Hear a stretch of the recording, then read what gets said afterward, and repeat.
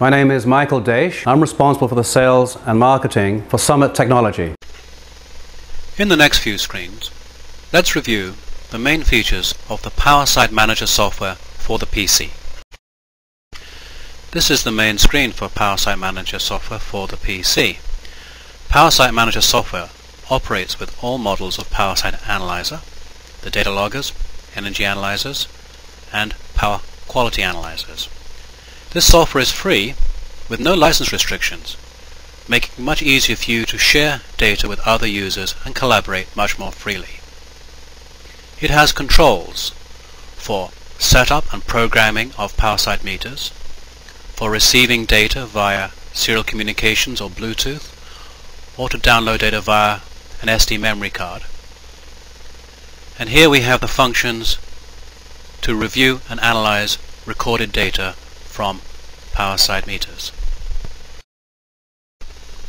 Usually at the beginning of a power study, before we leave the PowerSight meter to record and log for long periods of time, we often want to look at power meters in real time and review power waveforms. The remote control button will bring up a mimic of the front panel. You can think of this like the front panel of a multimeter, where you can perform spot checks on voltage, on current, power, power factor, etc.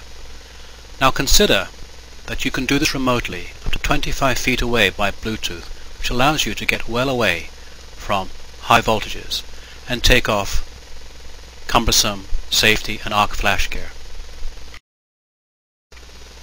In addition to the real-time meters, PowerSight Manager software has tools to allow you to view waveforms and harmonic spectra and phasors in real time. I can make the screen refresh in the oscilloscope mode. And I can view waveforms, phasor diagrams, harmonic spectra. To review recorded data captured by PowerSight meters, I can view logs or look at power quality information. Let's take a look at a log of a power study. In this control screen, I can select different signals to view, etc. Let's view current. Here is a log of current recorded on all three phases over time. Here's the time base. PowerSight Manager allows you to zoom and expand. You can copy this screen directly into your clipboard to print it or to copy into a Word document. You can also export the data immediately with one click into Excel.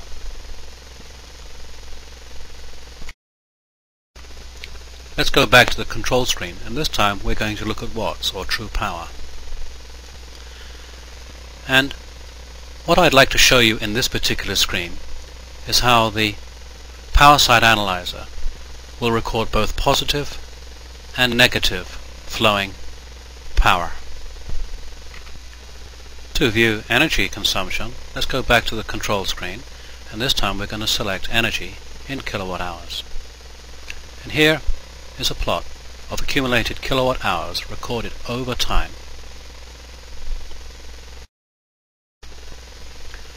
So far, the functions and reports that I have shown you are common to all PowerSight analyzers.